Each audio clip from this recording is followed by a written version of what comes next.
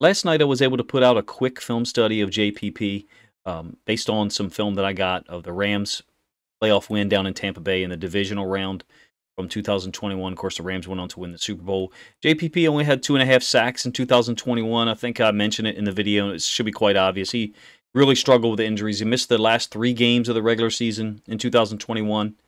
Uh, I, I, believe missed two others. I'm not certain. Uh, I, again, I, I, had the Washington game from midseason 2021, and he, he looked, looked really compromised and limited by injury um, not explosive at all in that game. Even in the Rams playoff game, when I thought he did look more healthy, he was laboring and didn't have as much impact. And again, it was an incomplete film study. It was only two or three possessions. So, uh, and that was all the film I had of him, basically, all the complete games I had of him. So what I did today was I was able to get into Game Pass based on some recommendations from other people in the comments section, uh, and and take a look at some of JPP's film from some other games from 2021 and um, game film from 2020 when he was voted to the Pro Bowl. You know, he reg- in 2020 at age 31, JPP had nine and a half sacks, 55 tackles, two interceptions, uh, four passes defended, and, and six passes defended and four forced fumbles. So a great season for being 31 years old. Now, you know, what will he have left at age 33 in the 2022 season? That's that's one question to ask, right? Was his drop in production in 2021 a result of the injuries, or did he just get old fast? And I kind of find it hard to believe that he got old fast. I'm going to let some of these plays run now um, as I you know continue having some commentary, and then I will break down some of the film.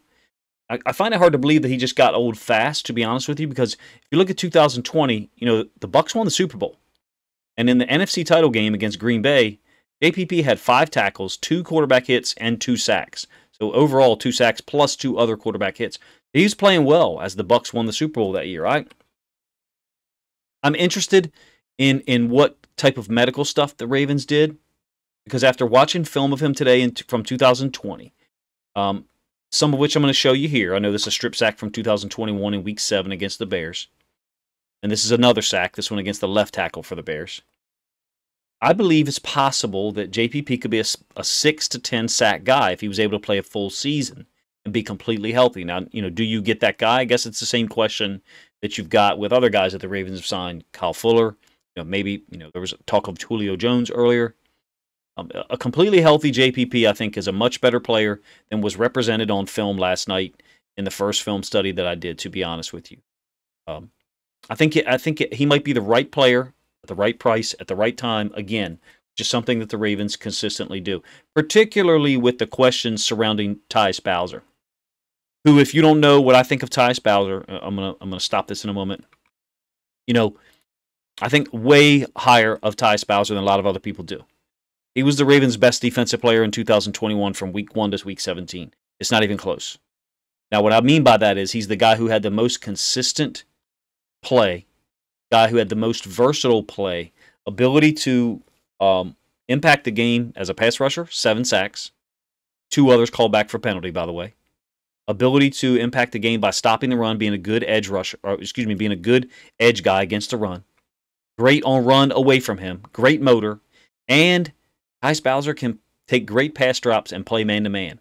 This is a split zone play where it ends up being a half sack uh, between uh, JPP, and and you can see the tight end is cutting him. A lot more athletic than what it, it looked like last on the film from last night.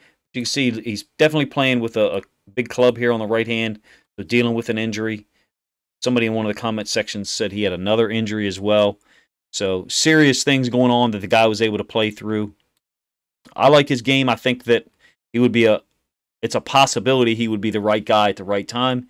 You know, I guess if Bowser can't go, let's in the beginning in week one. Obviously, obviously Ojabo's not going right. Then you got Daelin Hayes, Oweh, Ferguson, and somebody else. There's Houston you know, Justin Houston, who I thought had a good season. I'm to have a video out on him tomorrow, I'm uh, just focusing on one game. Uh, JPP, I think, could fit right in there with those guys and, and play a lot. Anyway, let's get to some of the film. And so you can look at the plays in general, in detail, and then you can comment on them and tell me what you think. This is going to be a pinch, a big gap sack. So the D tackle is going to occupy this guard. That's intentional. He's the D tackle sometimes on is not trying to go into the A gap. He's just trying to occupy the guard. And then what happens is JPP slides into the B gap and exchanges with the inside linebacker. And it makes it really difficult for a tackle to keep up with someone as athletic as JPP. You can see the difference in explosion and playing through contact in some of these plays from 2020 vastly different from the film that I presented last night. Same game, week six, 2020, against the Packers. He really gave them problems.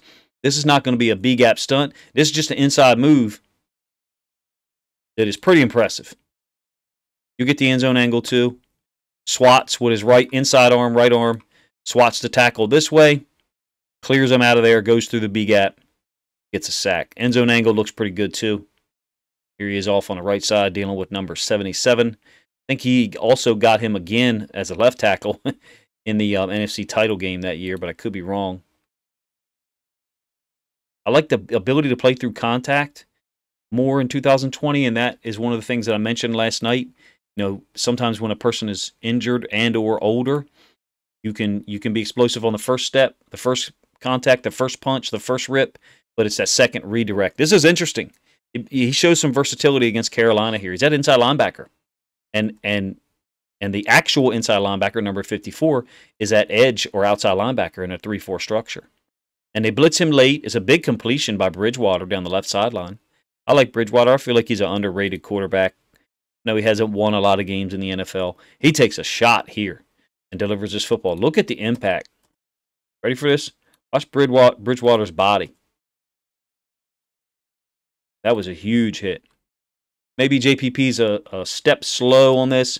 Not, not slow, a step late to go, to decide to go.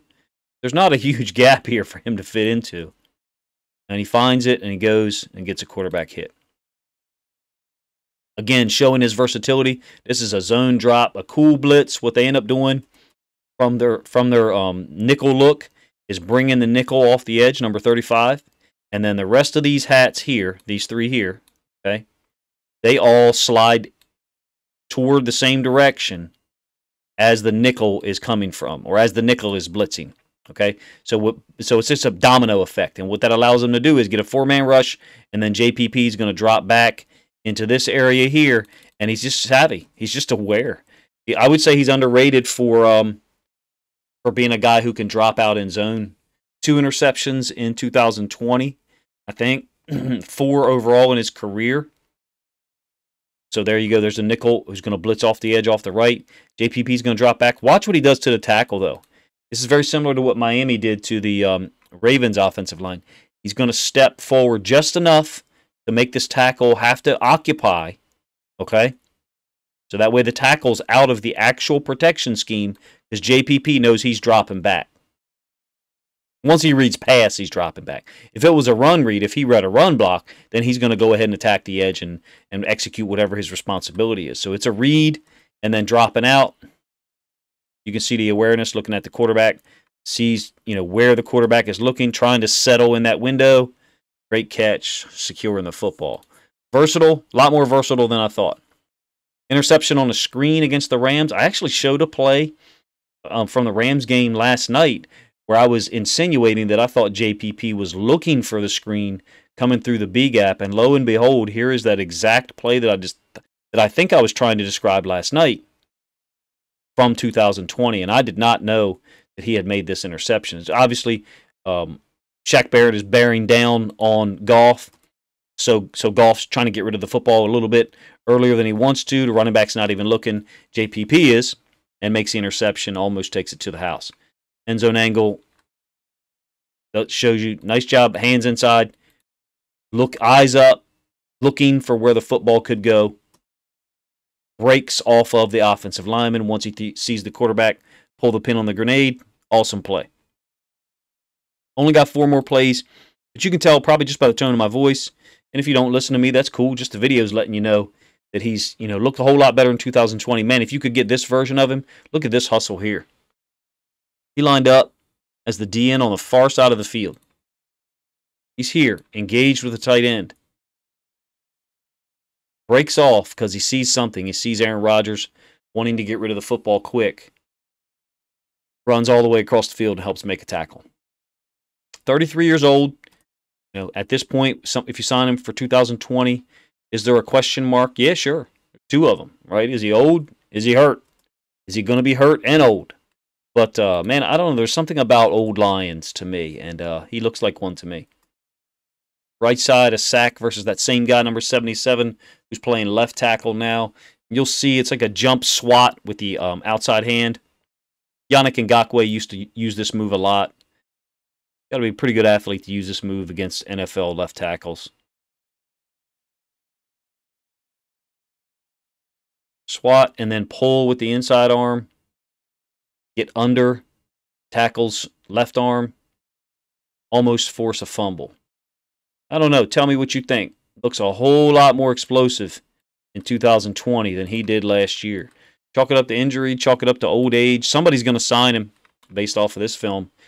Same guy, NFC title game 2020. One more play after this one. he just pushed this guy on the train track. Some people call, some will call this a bull rush. Certainly looks like a bull rush. Uh, but there's a there's an element to this whereby you're not going through the middle of his chest. You're go, you're taking on half of his body, and strong, strong. Did not look this strong on film last night. I wanted to keep this under 12 minutes, so uh, we got to get get this moving here because last night's video was way too long on JPP. Uh, some some people don't do this the same way that I've been taught. And I've seen it taught, but a lot of times guys on these bull rushes will um, aim for you know that point there, the inside, um, the inside of the outside foot of the left tackle, and then try to go right through the middle of his chest. JPP doesn't necessarily do that. He brings it back to the inside a little bit. We just call this train. He takes him on in the center there, and then he goes through the half of his body. Wonderful move. Can't do that if you're weak, old, injured. Looked healthy in 2020. Man, I'd love to see this guy show up in Baltimore, wouldn't you? If there's any Bucs fans watching, man, you guys are really blessed to have him and Shaq Barrett on the same team. This is um compare this to a run play I showed last night. If you watched that video, if you watched that that far into the film, there was a run play where he takes on a tight end, similarly to what he just did here, knocks the shit out of him, knocks him back, and then isn't able to redirect as the ball goes inside. Compare that to this play here. It's that it's okay. There's a punch, and now let me shed and get involved in the play. Last night it was punch, drive the guy back, and and I was not able to get you know that second athletic as hell movement um, out of my body for whatever reason. And it, I forget who the game was against. Here he is, right here. that tight end is asking the inside tight end what they're doing, and he and he helps him out a little bit, but not much. He just helps him out with the left arm, so he's not really helping that guy at all. That guy's getting his ass kicked by JPP. Awesome play. The nickel defensive back number 26 is in there as well. Fun to watch film of um, of him today. Spent about maybe an hour and a half. Fun to watch film of older guys making plays.